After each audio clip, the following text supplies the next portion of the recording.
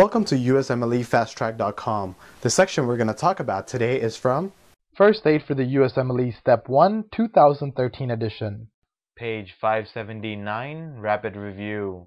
Name a condition in which you would hear an opening snap. You would hear an opening snap in mitral stenosis. What is the most common opportunistic infection in AIDS patient? The most common opportunistic infection in AIDS patient is Pneumocystis jirovecii, formerly known as Pneumocystis carinii, and this leads to pneumonia. What is the most common cause of osteomyelitis? The most common cause of osteomyelitis is Staph aureus. What is the most common cause of osteomyelitis in sickle cell disease? The most common cause of osteomyelitis in sickle cell disease is Salmonella. What is the most common cause of osteomyelitis in IV drug users? The most common cause of osteomyelitis in IV drug users is Pseudomonas and Staph aureus.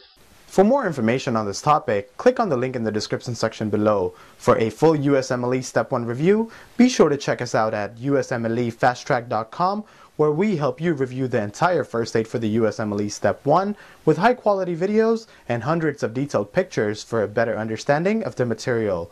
So to learn from the best USMLE review book, be sure to check us out at usmlefasttrack.com.